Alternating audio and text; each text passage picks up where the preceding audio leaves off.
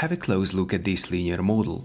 It tells you that the only thing you need to do in order to earn significantly more money is to get older.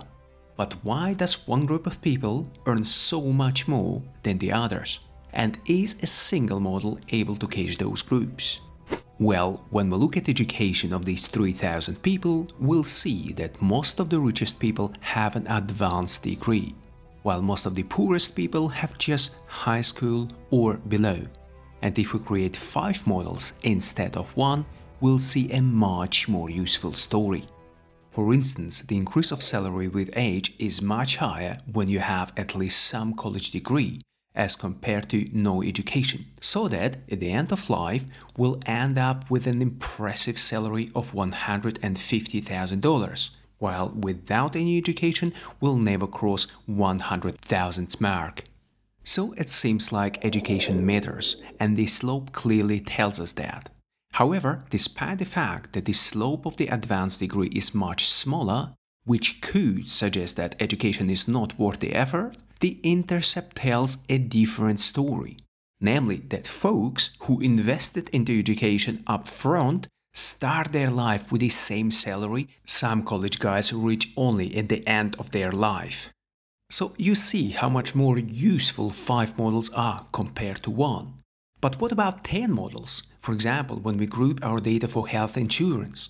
And what about 20 models when we account for different job classes? The more models you create, the more useful insights you'll get.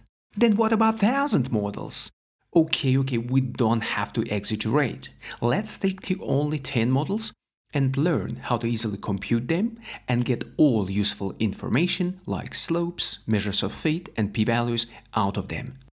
The wage data you have seen on the plot is part of the ISLR package. If we have a glimpse at it, we'll see categorical variables education and health insurance.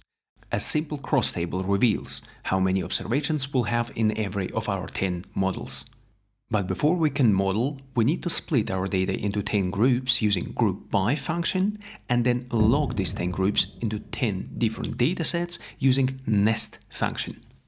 In a nested data frame, each row is a meta-observation, where categorical variables education and health insurance define our 10 groups, while the list column of 10 datasets could be seen as 10 lockers which contain individual observations belonging only to a particular combination of education and health insurance. And if you think that a list column of datasets is a crazy idea, wait a second and you'll see how useful it is. Imagine you'd need to write a code for 10 different models. That is not only a lot of work, but is also prone to mistakes. Moreover, you'd need to store and organize 10 different model objects somehow because they contain information you need. And while it kind of works for only 10 models, what if you really need 1000 models or more?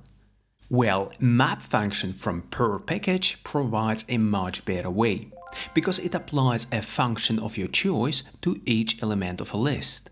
For example, if we want to multiply every element of our list by 10, we map over every element of this list, where every element of this list is represented by the dot. Similarly, we can map over every meta observation of our nested data frame and apply a linear regression to every of the 10 data frames which are stored in the list column we called data.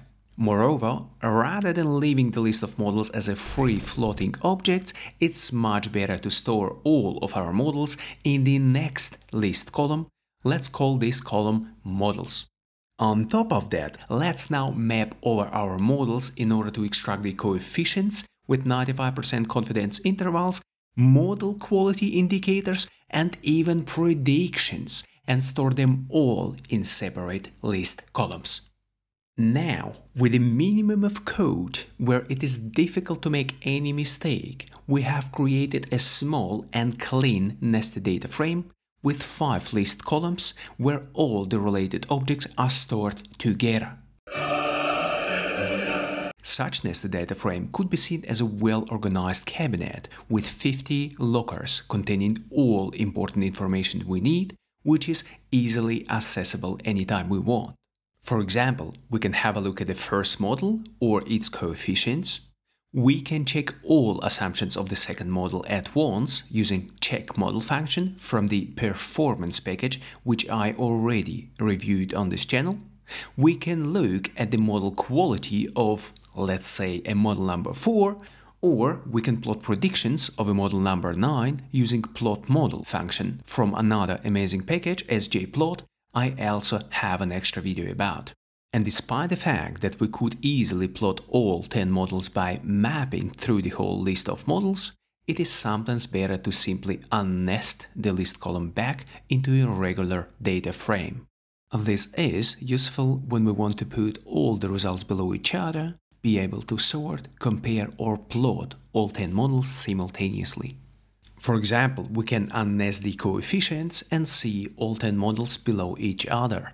We could unnest a list column quality to extract some model quality indicators, then easily remove some unnecessary columns and sort the data frame for R squared in order to rank the goodness of fit of our models and see models that don't fit well first.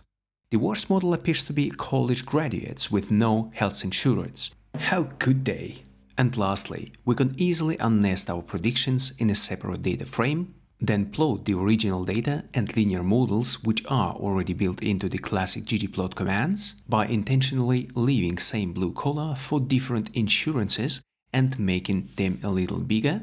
And finally, plot our predictions on top of them with different colors in order to see whether our predictions worked well. And voila, our predictions perfectly fitted the blue lines. This beautiful picture is worth a thousand words, but if you need words and want to learn how to easily and correctly report statistical results with text, you need to watch this video.